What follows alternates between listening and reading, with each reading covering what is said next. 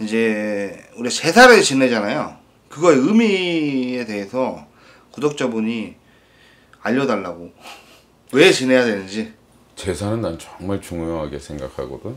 근데 이걸 내가 얘기하면 아마 불교 신도나 시- 스님네들한테 내가 욕을 먹을 건데 옛날부터 우리네 제사는 아주 밤늦게 지냈거든. 현관문을 조금 열어놓고 그리고 제사를 지냈었는데 그 이유는 밤 11시에 저승에서 저승문을 열어준다는 설이 있거든.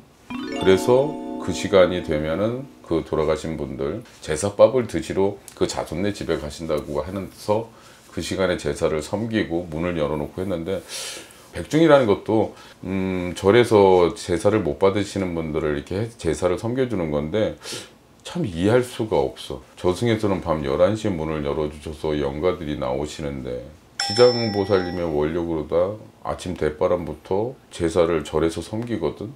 난 근데 지- 우리 인근에도 뭐 큰 절이 그 대- 내노란 절이 두 개가 있는데 백중 때 난 거기 가서 영가들을 본 적이 없거든.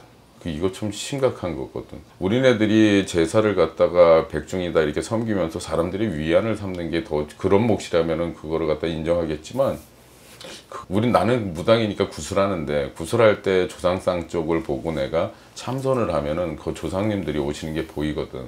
먹고 죽은 귀신은 때깔도 좋더라. 정말 그 말이 맞아. 제사 잘 섬기는 분들은 정말 그 집 조상 영가님들도 들어오시는 거 보면 깨끗하게 진짜 얼굴도 허옇게 들어오시고.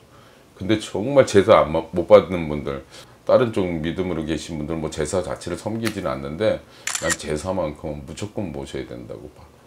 우리도 언젠가 나도 언젠가는 죽겠지만 제사는 정말 중요하더라고. 무조건 섬겨야 되고 이왕이면은 그 밤 11시 늦은 시간이지만 모셔가지고 그때 그 시간에 모시고 예를 들어서 그 다음날 일 때문에 빨리 모셔야 된다 하면은 빨리 모시되 다 치우지 말고 작게 모둠상이라도 하나에서 모둠으로 조금씩이라도 이렇게 놓고 한쪽에다 밀어놓고 왜냐면 영가님이 오시는 시간은 밤 11시거든. 그러니까 오셨을 때는 집안에 기름 냄새도 나고 뭐 냄새가 나는데 먹을 게 아무것도 없는 거지.